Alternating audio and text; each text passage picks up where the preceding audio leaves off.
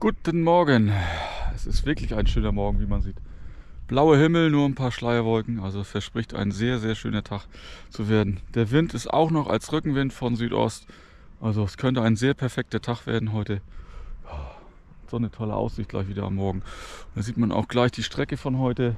Es geht weiter da hoch Richtung Norden. Da hinten die Stadt, das ist Heimstadt. Oh, da geht es da hinten um die Spitze immer weiter bis Falkenberg, ein bisschen nördlich davon, ist auf dem Campingplatz, habe ich mich eingebucht. Ich freue mich drauf, auf diese tolle Strecke heute wieder und dann endlich mal bei richtig schönem Wetter. Ja, die Nacht war auch sehr gut. Ich habe sehr gut geschlafen. Also die Umstellung von zu Hause aus. Jetzt auf einmal aufs Zelt ist mir gut gelungen. Also ich habe sehr fest tief geschlafen. Also wunderbar. Es war auch sehr ruhig hier. Oh, herrlich. So kann es doch weitergehen. Das Zelt trocknet noch ein wenig, war doch recht feucht geworden von außen und auch Kondenswasser von drin. Aber die Sonne tut ein Übriges. Es wird bald trocken sein, so kann ich gleich losfahren auf eine hoffentlich schöne Strecke mit tollen Bildern. Also, dann wünsche ich viel Spaß dabei.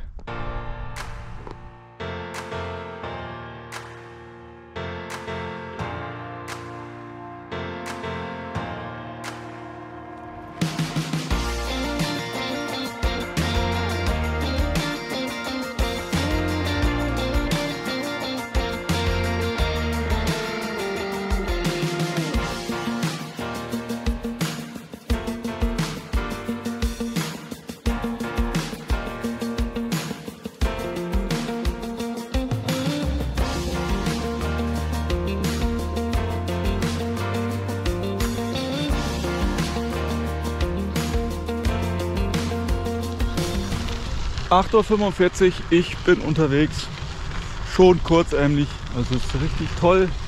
Das Wetter heute, auch der Weg fängt schon wieder gut an. Hier dieser Küstenweg, hier Küstenwald, das ist echt klasse. Oh, da fängt der schon gut an, aber man hört so ein bisschen die Autobahn, die ist immer jetzt dicht dran.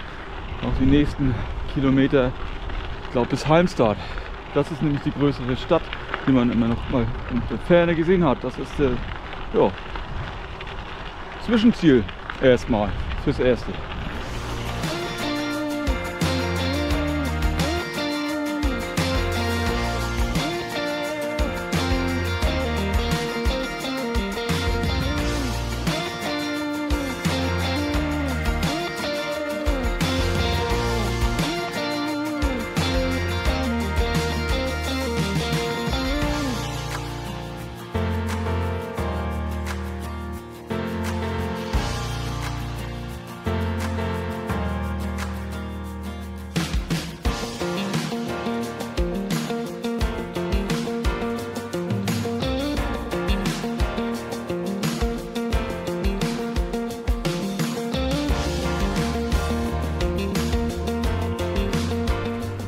Ja, siehst du, ein Radweg mit Autobahnraststätte.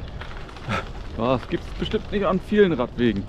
Aber naja, hier geht es jetzt wieder schön durch den Wald. Aber die Autobahn wird mich weiter irgendwie begleiten. Mal weiter weg, mal näher. Aber jetzt ist es wieder schön durchs Naturreservat hier. Echt klasse. Naja, es geht weiter auf jeden Fall.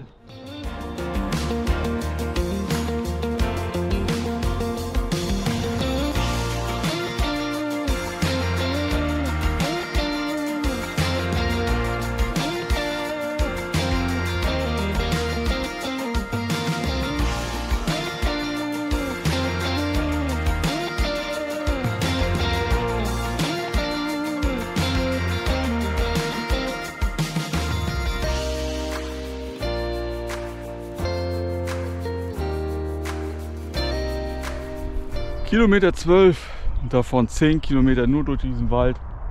Ja, richtig toll war es trotzdem, aber leider, man hört es immer noch und sieht auch noch die Autobahn, die uns weiter, äh, die mich weiter hier verfolgt. Aber ab hier ist jetzt der Sandstrand zu Ende und jetzt kommt wieder mehr Felsen, das direkt ins Meer ragt. Also es wird wieder anders, richtig wie ich mir Schweden vorstelle. Wunderschön. Heimstart, ja, sind auch noch einige Kilometer Oh, vielleicht mal ein paar Ortschaften jetzt davor noch. Oh, das ist einfach nur klasse. Und das Wetter.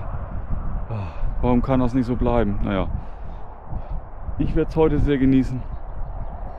Ich hoffe, ihr auch.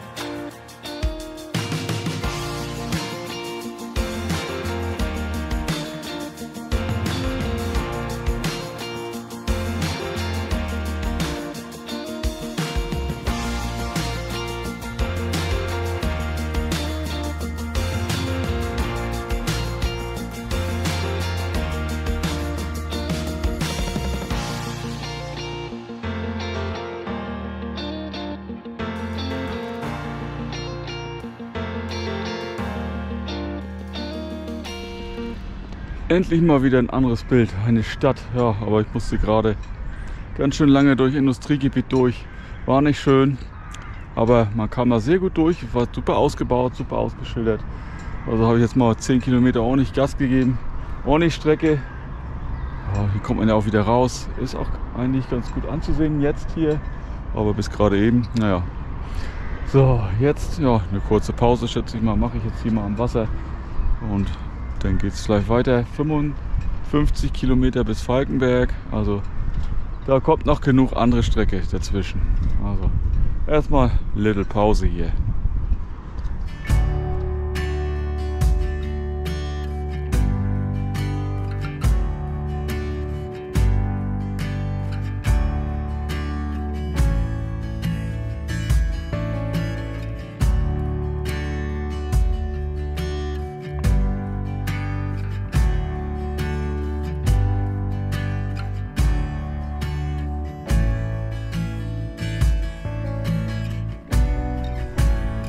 Endlich mal wieder eine Aussicht aufs Meer. Hat lange gedauert.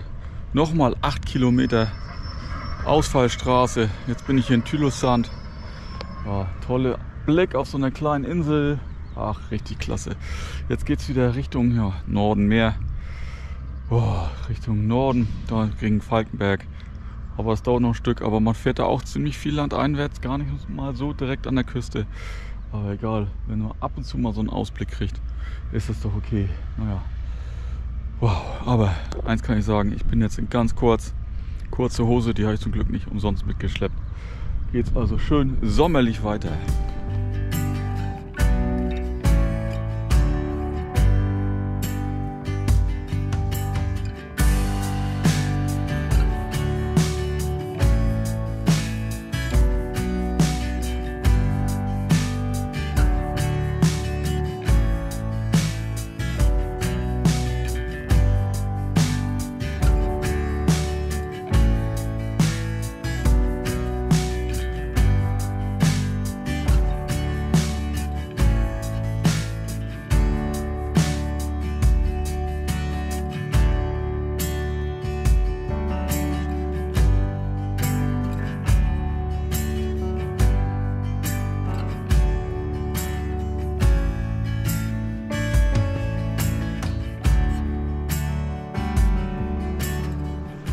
Im Moment fährt man irgendwie nicht mehr nur an der Straße entlang.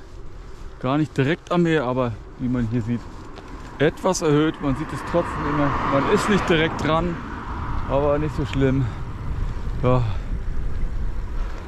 Aber tolle Aussichten gibt es immer wieder dazwischen. Ganz in der Ferne ist schon Falkenberg zu sehen. Ja, die Zeit, ja, die rennt schon wieder. 55 Kilometer habe ich schon wieder. Und nur noch, naja, was heißt nur noch? 39 bis zum Campingplatz. Aber es ist auch noch nicht mal eins. Also ich habe sehr viel Zeit. Ja, Im Moment ist es nicht so, dass man sich hier ausruht und ja, hier irgendwas genießen will. Ich hoffe auch gleich mal wieder auf Strand, auf Meer. Mal sehen, ob das kommt.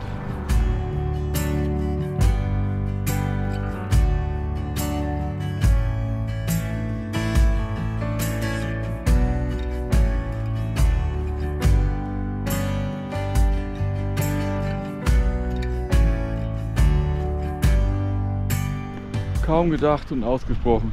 schon der beste Platz der Welt. Wow. So eine kleine Felseninsel hier. Kleiner Strand. Wunderbar. Ich weiß gar nicht, wie warm das Wasser ist, aber wollen wir mal austesten? Nö. Oder doch? Ah, ich weiß es nicht. Mal sehen, wie ich Lust habe. Ich werde hier erstmal noch was trinken, damit das weitergehen kann.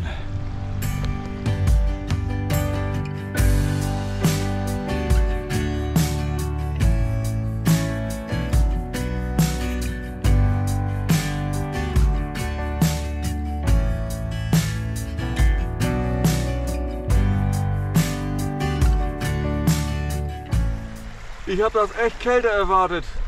Das geht auf jeden Fall mit den Beinen. Das geht auf jeden Fall. Gar nicht so schlecht. Hätte ich nie gedacht.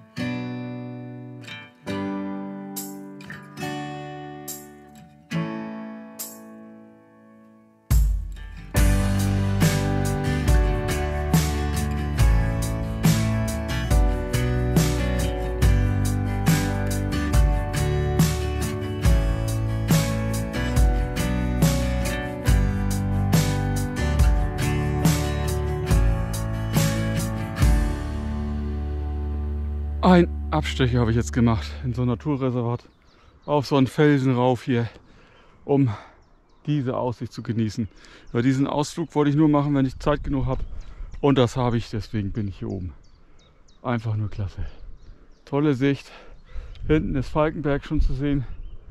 Was heißt schon, sind ja noch über 20 Kilometer.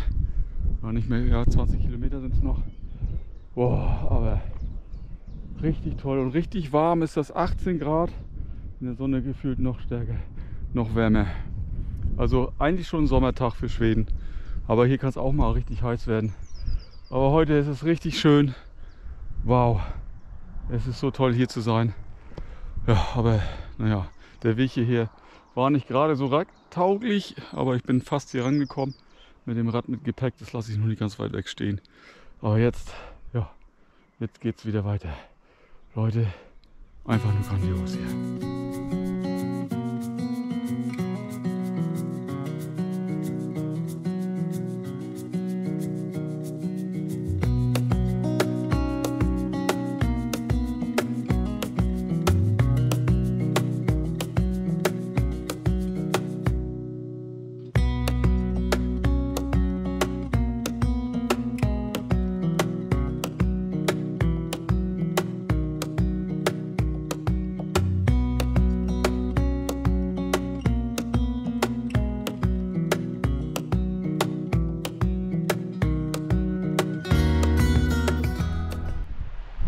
Kaum wieder Meer, wieder ein tolles Plätzchen hier. Sandstrand. Oh, die ersten gehen baden.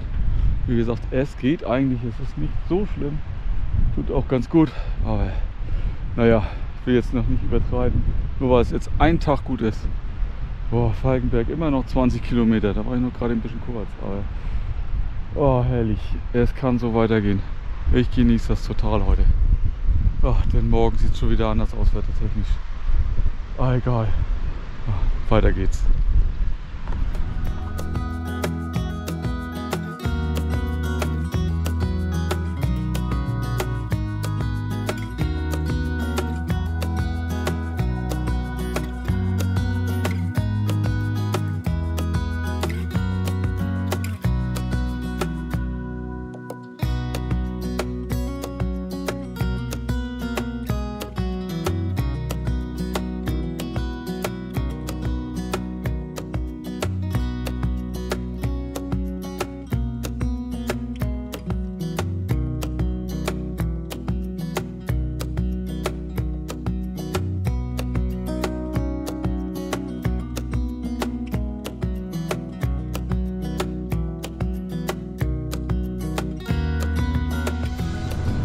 Bin ich kurz vor den Toren der Stadt Falkenberg.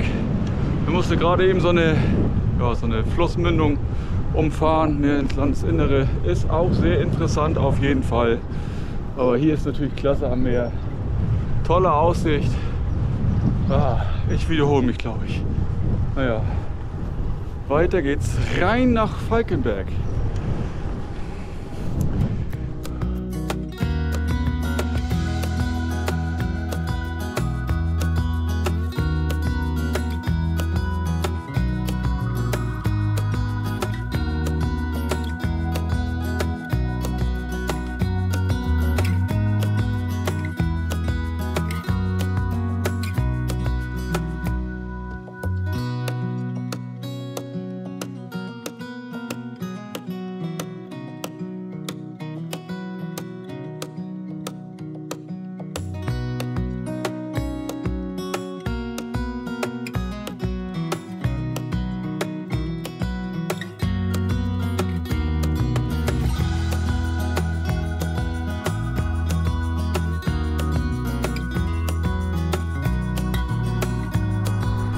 Da bin ich so glatt schon durch, durch Falkenberg. So kurz das Zentrum. Ja, war, war, war gut anzusehen. Aber ich war noch einkaufen, habe noch ein bisschen was fürs Gleich zum Essen äh, mitgenommen. Was kaltes, heute bleibt die Küche kalt auf jeden Fall. Es war warm genug heute, also gibt es was Kaltes. Ja, und jetzt bin ich auch gleich da. Vier Kilometer noch bis zum Campingplatz. Ja, war schon angerufen da alles okay. So schnell gehe ich das.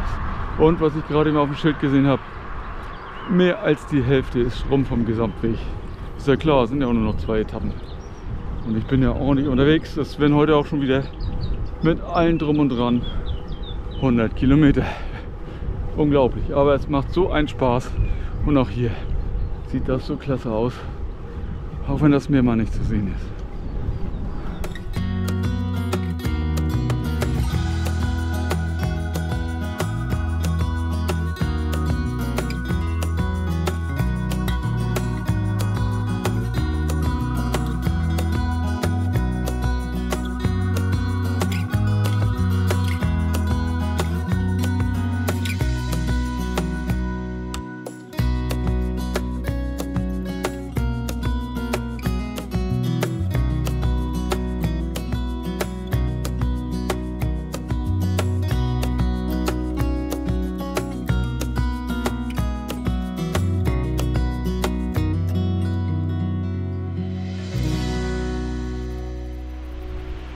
Angekommen hier in Olofsbro. Oh, toller Strand hier. Zwar nicht so breit und lang wie der letzte, aber richtig klasse. Ja, ich muss jetzt nur noch zum Campingplatz, aber ich werde mich hier erstmal noch hinsetzen und was essen. Denn ich habe jetzt Hunger, richtig viel Hunger. Ja, ich, keine Eile. Viertel vor fünf ist das, 16.45 also richtig zeitig hier kann das Meer noch genießen. Sieht doch klasse aus hier. Oh, da habe ich doch wieder richtige Punkte hier erwischt. Ja, leider, naja, weißt du was, wisst ihr was, ich sag später noch mal was. Ich habe jetzt unheimlich Hunger und dann sehen wir uns mal hier noch mal, bestimmt noch mal hier am Strand. Garantiert.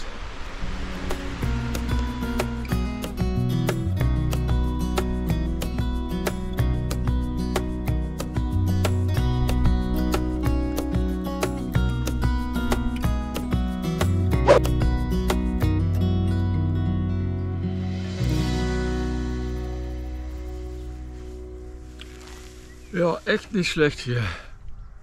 Wunderbar. Hier ist so ein Garten hinter so einem Haus. Da darf man sich hinpflanzen. Als Radler mit seinem Zelt. Strom gibt es auch hier umsonst dazu. Ja, du schon so, das werde ich hier noch alles sehen. Aber ein Tipp kann man ja schon mal geben. Hier gibt es so eine Kiste, da kann man sich selbst anmelden als Fahrradfahrer. Das ich ja schon meine Sachen, ich habe ja vorgebucht, lagen da auch drin. Also jederzeit möglich. Gerade jetzt in der Nebensaison. Aber richtig schönes Plätzchen. Die Sonne knallt hier noch rein. Ist noch, ja, es ist schon leicht abgekühlt, aber naja, ich werde jetzt hier erstmal einräumen. Und dann bestimmt noch mal den Ausblick genießen am Strand. Ja, also es ist echt herrlich, also perfekt getimed. 17.30 also ist doch super. Ja, ich hätte schneller kommen können, aber ich habe mir echt heute Zeit gelassen. Ja, aber mal, naja, ich rede nachher noch mal. Ich werde einräumen, also bis gleich.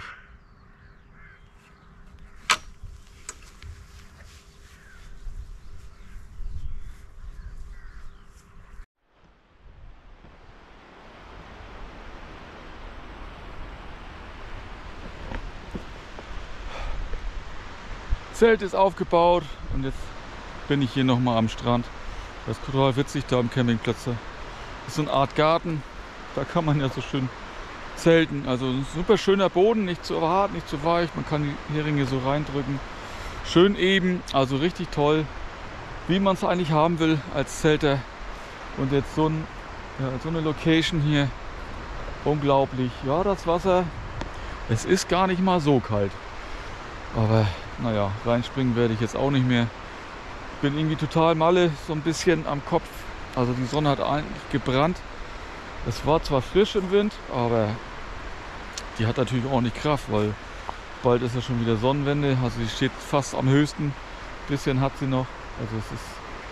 Ja, man muss ein bisschen aufpassen. Gut eingecremt habe ich mich auf jeden Fall. Aber naja, wenn man den ganzen Tag in der Sonne ist. Von Melby Strand hierher nach Olofsbo über 102 Kilometer sind es wieder geworden. 92 war mal geplant.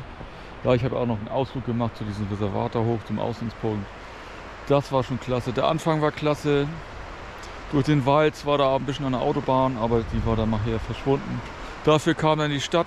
Da musste man 18 Kilometer ungefähr durchziehen. War nicht so schön. Haben auch andere gesagt, die ich getroffen habe. Komisch, die Radreisenden, die ich, die ich hier getroffen habe, waren Deutsche zweimal zwei Mädels, auch noch so einen anderen Typen. Also, ja, wenn man mal doch ins Gespräch kommt, ist komischerweise sind das Deutsche. Ich weiß es nicht. Naja, es ist auch jetzt die Zeit, wo ja, die Semester, äh, wollte ich schon sagen, das Abitur geschrieben ist und wahrscheinlich die wollen dann noch mal jetzt noch mal einen Sommer hier so verbringen, bevor es richtig losgeht. Kann man auch verstehen. Also das kann ich auch nur empfehlen. Das ist so schön hier. Das ist echt krass. Ah, wie es dann weiterging, ab und zu mal ins Landesinnere. War klasse, das auch mal zu sehen. Es wurde felsiger mal am Meer, jetzt ist hier wieder Strand. Also es sieht echt klasse. Es ist nicht weit weg, aber es sieht anders aus. Leute. Wunderbar. Ja. Es war wieder ein anstrengender Tag, aber das meiste war mit Rückenwind. Dadurch ging das. War nicht so schlimm wie gestern. Steigung waren kleine, aber das war nicht viel. Das kann man verschmerzen. Viele Höhenmeter waren es nicht, aber es war unheimlich toll. Also sehr schön. Naja, da hinten gehen noch welche ins Wasser. Ja, ja ich mache das jetzt nicht. Obwohl man das vielleicht könnte. Ein bisschen Zähne zusammenbeißen und dann geht's. Also ich habe es gemerkt, wo ich die Füße drin hatte. Es geht. Es sind vielleicht nur 12, 13, 14, vielleicht heute durch die Sonne hier an, an der Kante 15 Grad. Ja, bisschen Zähne zusammenbeißen, dann wird es gehen. Auf jeden Fall. Aber wir haben ja auch noch Mai. So, also hier ist es auch ziemlich leer. Campingplatz auch. Also das dauert noch ein bisschen. Also eigentlich ist es jetzt die richtige Zeit. Es ist total ruhig hier. Ah, es ist, es ist richtig entspanntes Fahren. Entspanntes Fahren. Also einfach nur klasse. Ja, Falkenberg, ja, da bin ich auch nur durchgerast. Also Stadt ist ja nicht so meins, wie von vielen Radlern. Aber hier kommt man immer eigentlich sehr, sehr, sehr gut durch. Ja, und das erste Mal einkaufen in Schweden war auch gar kein Problem. Es heißt zwar alles anders, aber irgendwie findet man doch, was man will. Ich wollte halt Kartoffelsalat und Würstchen, das war auch sehr lecker, hat sehr gut getan. Keine heiße Küche heute und das in Schweden. Also es ist nicht immer kalt hier. Also, naja. Ich mache dann jetzt hier Schluss. Ich hoffe, es hat dann gefallen. Bis zum nächsten Mal. Danke fürs Anschauen. Moin Moin. Oder ich glaube, wie man hier sagt. Adieu. Adieu, adieu. Naja, egal. Tschüss.